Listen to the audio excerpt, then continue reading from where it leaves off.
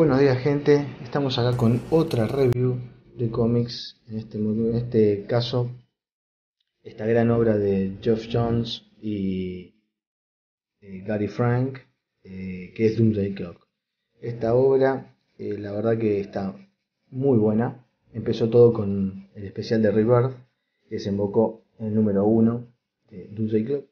Luego, este, la serie como que sufrió demoras y una serie que tendría que haber llevado un año de duración, llevó mucho más, dado que este, el primer número salió en 2018, terminando fines, fines del 2017, perdón, y terminó ahora el 17 de diciembre del 2019.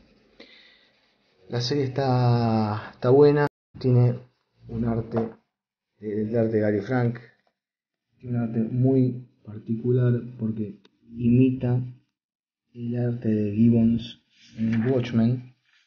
Vale destacar que no es una continuación, es una pseudo continuación. Tiene mucho de, mucho de esto. Eh, primeros planos. Este, tiene mucho de. Van a ver que tiene poca, poca acción. Los primeros. Yo diría que los primeros cinco números, diría, son más que nada para setear todo lo que viene después. Este número, fíjense, el arte está muy bueno, muy bueno, y lo van mechando con toda esta, esta pseudo novela que es este, Nathaniel Dusk de Carol Coleman, que después lo va a atar Jones sobre el final con lo de Tulsa Club. La gran duda era que esto debía transcurrir una, mostrar un año en el futuro de DC pero las demoras hicieron que se pareciera como si fuera una eh, historia standalone que empieza y termina acá. Este número en especial nos cuenta la historia de, de, los protagonistas, eh, va, de uno de los protagonistas, ¿no? Que eh, al principio no, no, no se tiene muy claro cuál es el papel, que son marioneta y mimo. Y después acá en el número a partir del número 7, donde se pone la cosa, y donde aparece este señor, el doctor Manhattan. La verdad que está muy buena esta historia. Tiene un, arte, pero espectacular, impecable. Gary Frank nunca decae, nunca decae. Vienen dos covers, una variant y una normal. La normal respeta mucho, respeta mucho este, lo de lo de Watchmen, donde mostraba la cover, es el, un acercamiento del primer, del primer este, cuadro. Fíjense acá, este es el anillo de legión. Acá está el primer cuadro. Este, yo opté por las variantes, la verdad que me gustaron mucho más. Acá este número está dedicado a Carol Coleman y su relación con, con Manhattan. Justice Society, miren qué bueno está esto. Bueno, nada, la verdad que es un muy buen cómic y creo que a partir de este número, el número 10, empezamos a ver algo que tiene que ver con Superman. Si no me equivoco, a ver si lo puedo ver acá.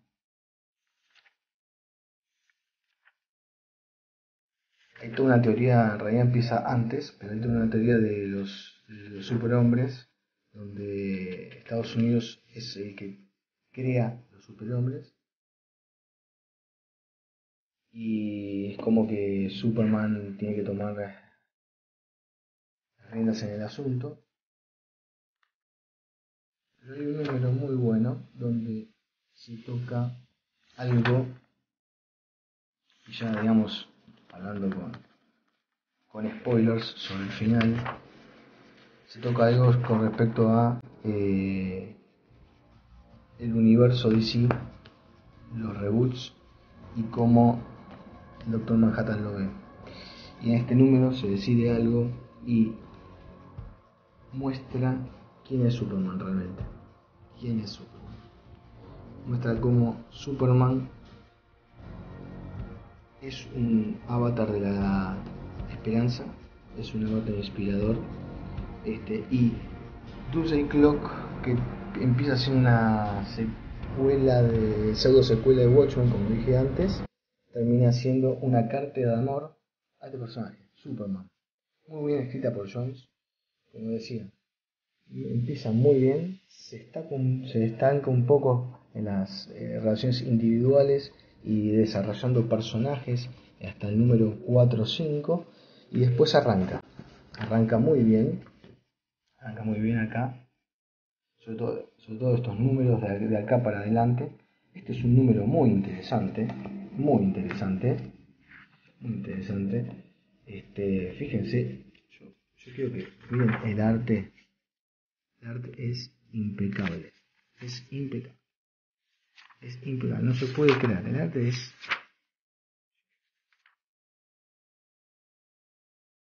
hay algo que me encanta de esto es que muestra esto.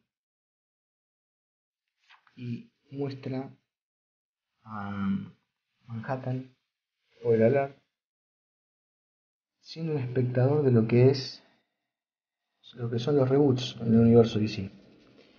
Y el metamensaje que nos traduce acá es como que nosotros nos ponemos en el papel de maestros diciendo y enseñándole a Manhattan o entendiendo más que Manhattan de que no es justamente un error de continuidad de la historia sino o del tiempo sino es un reboot es un, es un reinicio y Manhattan trata de entender eso.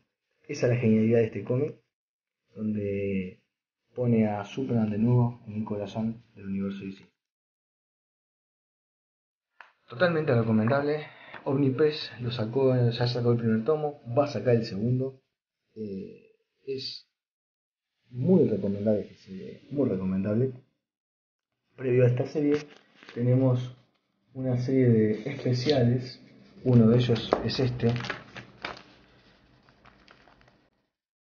¿no? El Only Place for the Living y Boss Effect y The Button. Pero la realidad es que no, no creo que haga falta leerlos para entender esto. Para mí, este, comprando, si quieren comprar los tomas de Omnipress, solamente sirve. Bueno, gente, espero que les haya gustado. Si les gustó, suscríbanse para más reviews. Este, denle like al video nos estamos viendo en el próximo video. O ya saben, en, la nueva, el nuevo emprendimiento que estamos haciendo con otros canales de Argentina, que es este, Crisis en Tierras Argentinas, y, nuestros programas este, esporádicos o mensuales que estamos haciendo, eh, ya saben. Suscríbanse, like al video y nos estamos viendo. Gracias.